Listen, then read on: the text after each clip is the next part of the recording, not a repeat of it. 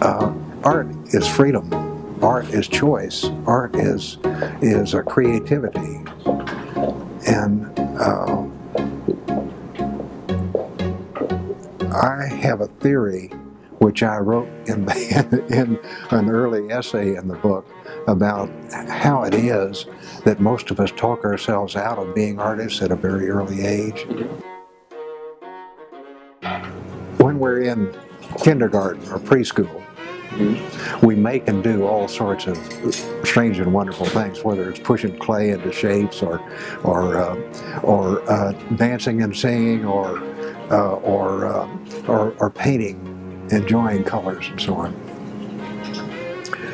And we get lots of encouragement because the teachers love it, our, our parents love it, we get lots lots of appreciation for it. And we love it because it's such fun. Mm-hmm. But then we begin to learn about letters and numbers, and we begin to find out that they're right and wrong answers to things.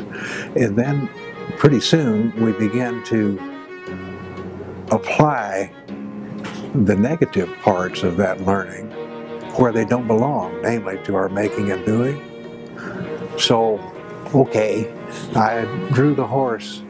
I wonder if I'm drawing it the right way. Well, I'm going to draw it the way I drew it yesterday because teacher really liked it. And pretty soon we begin to get a little bit bored with it or we begin to lose confidence and we look and see how Johnny does his and I'll do one like that. And finally we decide that we really like baseball better. And we're not really artists anyway.